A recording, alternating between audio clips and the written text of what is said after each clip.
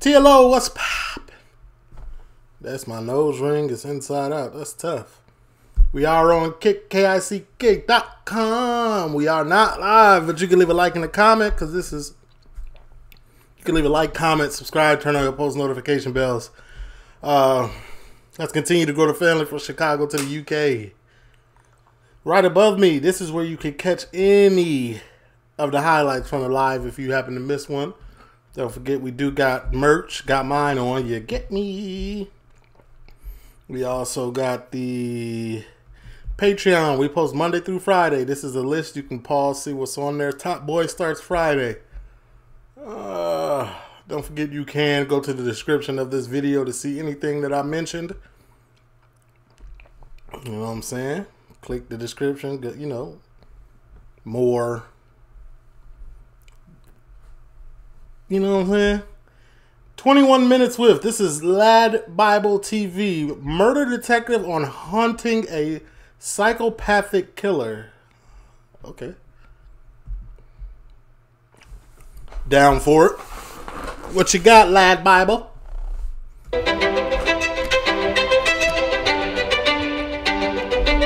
Hmm. He looked just like a detective, a retired detective. All right, let's let's see. When did you join the police force? I joined the police in 1977. 21st of March 1977. It's a date ingrained in my mind. And I was a science technician, I was a senior technician in a school. That's a date ingrained in my mind. Where are you from? Ireland? Um, I was at the top of my game, age 22, and I joined the police for a challenge. I quickly recognised the CID. That's where I wanted to go, wanted to investigate crime. As I progressed, I started off as a, a constable, a uniformed constable. I then became a detective constable. I was a detective constable working as in the lower level as part of the team. Now, you know, it's not always when I retired as a senior investigating officer, it's not just about me as a senior detective, it's about the team.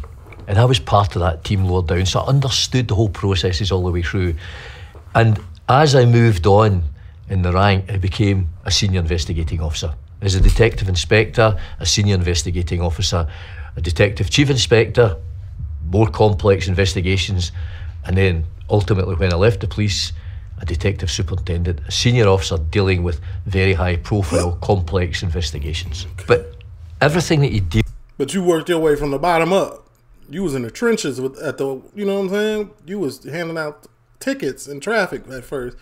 And you worked your hard work paid off. Okay. Deal with as a detective. You're dealing with housebreakings, you're dealing with robberies, burglaries, rapes, serious sexual crimes, murders, everything. And nowadays, you know, ultimately, uh, in my later years, I was dealing with terrorist act, the Glasgow airport Glasgow Airport. Terrorist attack.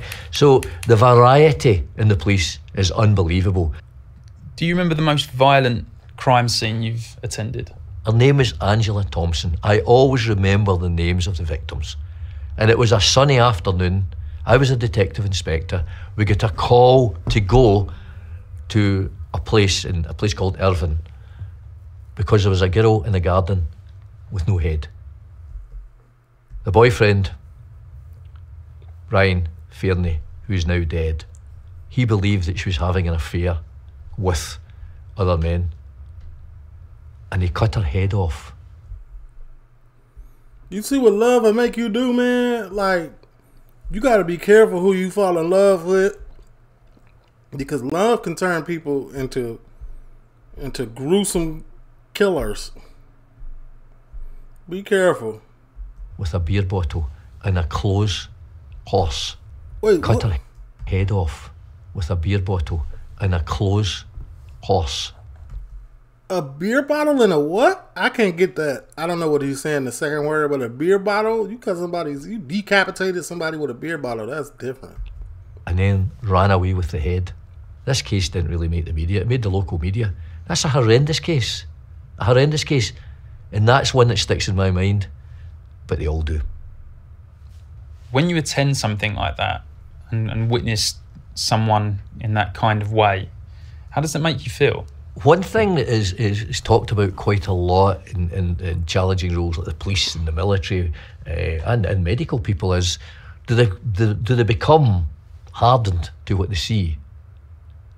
As far as I'm concerned, as a detective, I have never become hardened to what I see. Because uh, you're human and you can't detach yourself from the fact that you're looking at a person that's been killed violently by another human being. So it's very difficult. It's very difficult. I guess, I guess, but it also depends what type, what side of the fence you're on. You know what I'm saying? What side of crime you're on. You're an officer. You have to have a heart. You know what I'm saying? But I'm pretty sure the criminals that are doing it develop like they're cold. Obviously, they become cold-hearted or hardened. You're dealing with what you're what you're always thinking in the, in the challenging investigations, particularly the big complicated ones.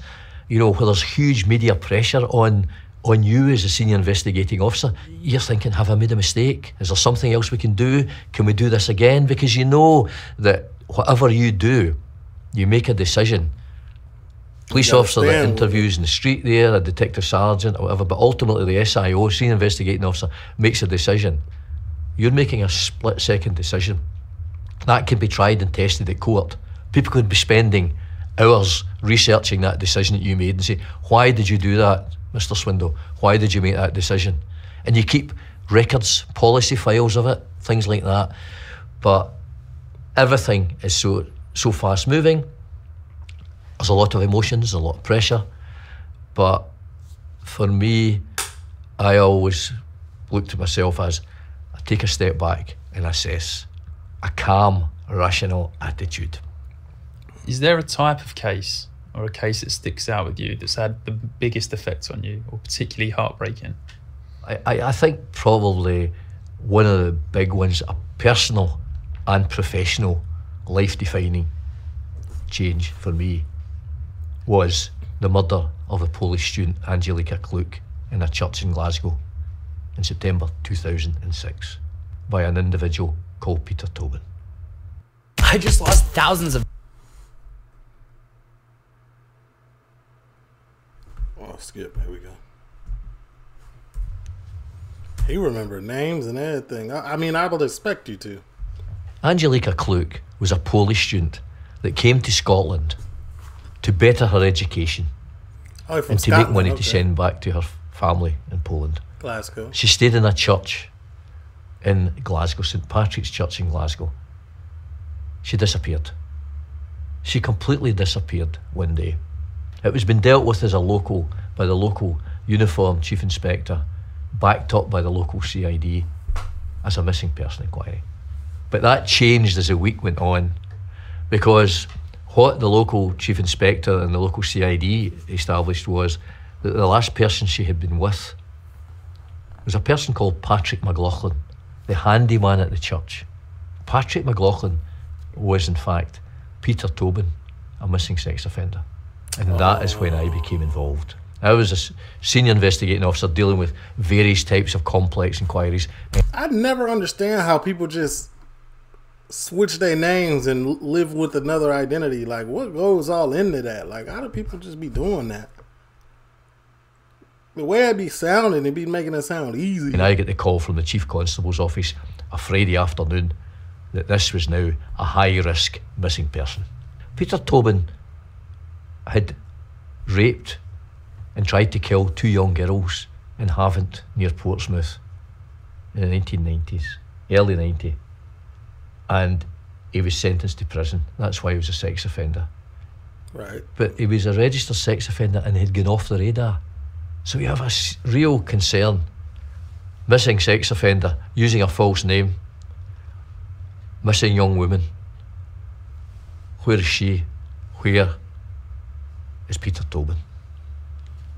How did you know that Pat McLaughlin was Peter Tobin. How did you know that that right. was Peter Tobin using an alias? When Angelika Kluk went missing, it was established that she had been with the last person she had been with was the church handyman called. Oh, you probably seen a picture of him and noticed him. Patrick McLaughlin, and Patrick McLaughlin worked for a, a homeless charity called the Loaves and Fishes. He actually had a name tag, Patrick McLaughlin. What had happened was the police, the local police, when they were making investigations, had gone public and they put that picture out publicly. And people came forward to say, that's not Patrick McLaughlin, that is Peter Tobin. So we arranged for the church to be searched. The church had been searched before, but the dynamics and the categorisation had changed. There was real concerns for Angelika Kluk. So the church was searched using a team of experts, POLSA, police search advisors, and found under the floor the body of a young woman. Oh. They couldn't say who that was at that time due to injuries. And the person that was vital to that was a person, Carol Rogers, who has appeared on Lad Bible before. And Carol was a scientist, and she told me, I think I remember. do not move the victim's body. And she explained why, because of the injuries and because of other body fluids, if the body was moved, it would mean that we could destroy evidence. So Carol said, okay, I'll go under there and take samples. Meanwhile, I'm dealing with the huge impact the media, Sky TV, live stuff from the scene, and criticism by Angelika's family. Why didn't they find the body? Is that her body in there? We didn't know at that time. Y'all still got to do the forensics. they still got to do the forensics, get like DNA and things of that nature. The injuries were too catastrophic to just look and see, right? They had to really, really, really, really, really find out. All credit to the scientists, and that that is one thing that I have always said as I progress through the police: trust your experts and trust your team. And Carol, she lay under the floor, and she took samples from the body of a young woman, and with what she found and what other scientists found, we could piece together what happened to that young woman. It was only as a result of clothing Science and other things crazy. and DNA ultimately that we identified that that woman under the floor was Angelika Kluk. Okay. Angelika Kluk had been battered over the head with a table leg. She You know what's crazy? And he's targeting like foreign people, like people that come to the country to get a better education. Like they they be oblivious to certain things. Like same here, same thing in America. Like they just be oblivious and they like befriend people like it's like nothing.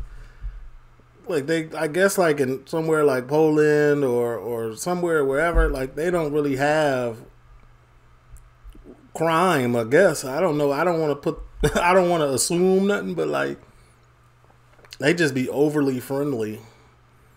Nobody's ever told them to like watch over your shoulder. Some people's intentions are what they really seem to be, or things of that nature. You know what I'm saying? been gagged and her wrists were bound with cable ties. She'd been stabbed and she'd been raped. And then she'd been dumped under the floor like a bag of rubbish, concealed underneath the church floor. Underneath the church floor, it sounds crazy. It's a lot of things that be going on in the church, man. That's tough. At this point, Peter Tobin becomes a suspect. How did it come to be that you arrested him for this crime? Well, there was various aspects about this investigation, but you know, regarding evidence, regarding forensic evidence. But the big one, there was a manhunt. Peter Tobin's face was flashed all over. And he national TV, ran. and he was found in a hospital. Are there times Where was he found? In a hospital? Forgot to put my ad block on. My bad. TV, and he was found in a hospital in London. He checked into a hospital in London in a false name, and someone recognised him. Like you don't need an ID or nothing. This people, this man done been Peter Tobin, the other name. Now he's another name. Like And that is how we became involved. That's how we tracked him down. And of course, when we start looking at Tobin, I, I decided when I saw the injuries that he'd caused and the way he had concealed her body, he had stayed at the scene for a couple of days, probably hoping that she wouldn't be reported missing. And then something changed, the dynamics changed in it, and he left the scene. And I thought in my mind, this guy is 60.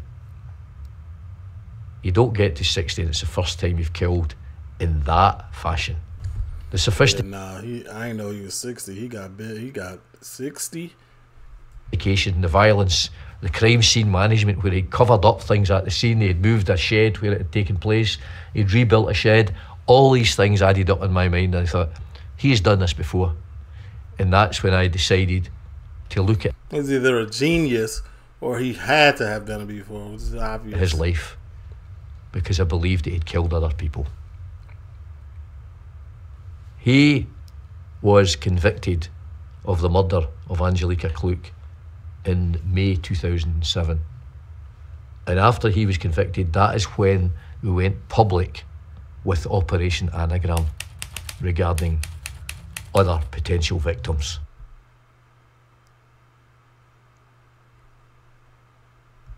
We had been working in the background, but we couldn't go public before he was convicted of the murder of Angelika Kluk. There had been stuff with the case. Um, we identified uh, that Tobin had been in Bathgate, a place near Edinburgh, in 1990, 1991, and it was the same time as a young woman, Vicky Hamilton, had gone missing. And the police, liaising with the police, the Edinburgh police that were dealing with that missing person, they conducted a full review. This man lived a 60 year life of freedom, just going around our our word and pe- women, and then unaliving them. For 60 of them. I'm, I'm pretty sure he didn't start when he was a baby, but like, like, he could have been early 20s and started doing this. He was doing this a while and then just got better and better at it, like, for lack of better word. that missing person. And as a result of that review, we got forensic evidence that linked Tobin to the Vicky Hamilton case. And that also included uh, searches of the house where he stayed, where they found a dagger. The pulse of the search advisor teams found a dagger, and on that dagger was DNA. And there was a purse that was belonging to Vicky Hamilton. A what? Oh, a purse. I thought he said pus. had been found at a bus station in Edinburgh, and on that purse was DNA. And the DNA was Peter Tobin's son. They're just linking Peter to everything. But they had to really, really search though. Like that that's real detective work. There was further inquiries done in relation to throughout the UK, looking at Tobin's life, where he was, timelining, looking at his whole life. We did it in liaison. Every single head of CID What did he throughout look the UK like? was involved. And what they did was reviewed all our missing people. And one that came under the radar for us, Operation Anagram, was a missing girl, Dinah McNicol. She'd been at the Liphook Music Festival and she'd been hitching a lift with the guy she met that day. And when she was hitching a lift, they get picked up, they get a lift from a guy, a Scottish guy. The person, they'd stopped at a service station and the young guy that she was with had gone into the garage service station. And when the, he came back out, the car was gone. So Dinah was nowhere. Her money had been used, her card had been used along the route, along a particular route, and also in the town of Margate. And Margate is where Peter Tobin stayed at that same time, 1990, 1991. He stayed in This should be uh, like I, I'm sorry, I would never in my life. I know I know it's a different time, a different era, but I would never hitchhike no ride. I don't, I'd rather walk forty miles along the highway than jump in somebody's car. Like I'm not doing it. Bathgate and he stayed in Margate at the same time. We had an arrangement between both houses. Inquiries then were made locally at that house he stayed at in Margate, and a witness was traced that spoke about Tobin. They'd called him Scottish Pete, nice Scottish Pete, digging a hole in the back garden. With the help of the, the, the head of CID there at that time, Tim Mills, the detective superintendent in Essex, because of Essex, he was from Essex, they conducted a search, a full excavation using forensic archaeologists and other search specialists. The first body that they found The first there was multiple. was actually that of Vicky Hamilton. and I get the phone call, and I couldn't believe that. Says it was Dinah we were expecting to be there. It was Vicky Hamilton. And then they continued excavating and found the body of Dinah McNicol, buried in the back garden in graves, prepared graves deeply down in polythene sheeting. He went uh, extra mile. It was three separate court cases for. Now artificial. He said deep down with a cover of what? Poly what?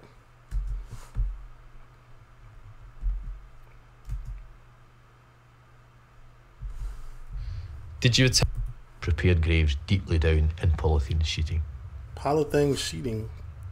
It was three separate court cases for Peter Tobin. Did you attend court at any point? Peter Tobin was convicted May 2007 of the murder of Angelika Kluk. He was then convicted uh, after a trial in Dundee of the murder of Vicky Hamilton. And then at Chelmsford Court in Essex, the trial for Dinah McNicol. I was at that court trial. I was sitting there watching, and they're watching Tobin, looking at me, looking at everyone, making notes, laughing, feigning illness.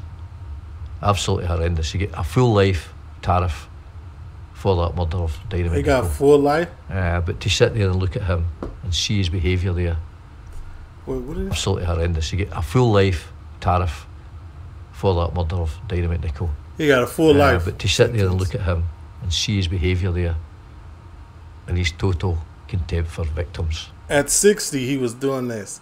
So, yeah, he was definitely psychopathic. Uh, he's just a horrible guy, a horrible, horrible individual that's in total denial of what he's done. Peter Tobin is like many serial killers. He's a controlling individual. He's a cunning individual. And he's a narcissist. He'll speak, and he spoke in interviews. He spoke and spoke and spoke, and he spoke about his favourite subject, himself. It's like Ian Brady and all these other people. Ian Brady, the Moors murderer. It's about control. It's about speaking about themselves. And that's what it was with, with Tobin. He's in total denial of the Angelika Kluk murder and then the other ones that we found, the other victims that we found. How you deny it? They, the bodies is in your backyard. Like, what you mean? Having dealt with people like Peter Tobin and other murderers, do you believe evil exists? Yes. Absolutely. There's a big concept round about people that kill, murderers. Is it nature, nurture, or born evil? There are people that are just born evil.